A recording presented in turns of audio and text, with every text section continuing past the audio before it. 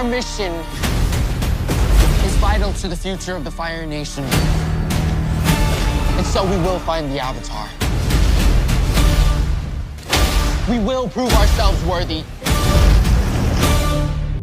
तो देखो गाइस अगर आप अवतार द लास्ट एयरबेंडर के सीज़न वन के बाद सीज़न टू के लिए वेट कर रहे थे तो उनके लिए एक अच्छी अपडेट निकल के आ रही है इसकी सीज़न टू की फिल्मिंग के रिगार्डिंग तो आइए जानते हैं कि अभी की कन रिपोर्ट क्या कहती है और कब तक हमें इसकी सीज़न टू है वो नेटफ्लिक्स पर देखने को मिलेगी. तो जैसा की आप सभी को पता होगा, अगर नहीं पता है तो बता दू की नेटफ्लिक्स ने इसकी सीज़न टू के साथ साथ सीज़न थ्री को भी रिन्यू कर दिया था इसी साल के फ़र्स्ट क्वार्टर में ही. जी हाँ गाइस आपको सीज़न टू के बाद back to back season three भी देखने को मिलेगी, जिसके लिए आपको ज़्यादा वेट करना नहीं पड़ेगा। लेकिन सवाल यह है कि अभी की जो कौन रिपोर्ट क्या कहती है इसकी सीज़न टू के रिगार्डिंग तो बता दूँ कि रिसेंटली इसकी सीज़न टू की फिल्मिंग शेड्यूल निकल के आ रही है, जिसके मुताबिक अगर सब कुछ ठीक ठाक रहा तो फिर इसकी सीज़न टू की फिल्मिंग है, वो इस साल के सितंबर के मिड में स्टार्ट होगी और करीब सिक्स मंथ के लिए इसकी सीज़न टू की फिल्मिंग है, वो चलेगी, जिसका मतलब है कि सीज़न टू की फिल्मिंग है, वो नेक्स्ट ईयर के मार्च तक कंप्लीट होगी। उसके बाद पोस्ट प्रोडक्शन का वर्क है, वो रह जाएगा, जिसका मतलब है कि इसकी सीज़न टू है, वो आपको बहुत ही कम चांसेस है कि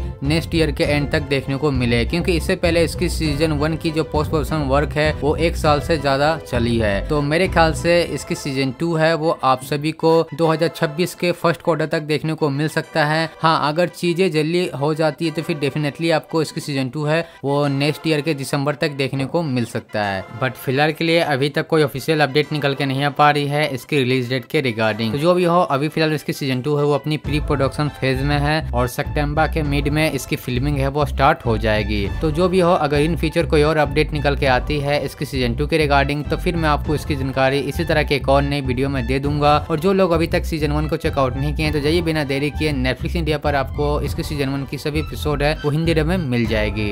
तो चलिए मिलते हैं इसी तरह के एक और नए वीडियो में। Until then take care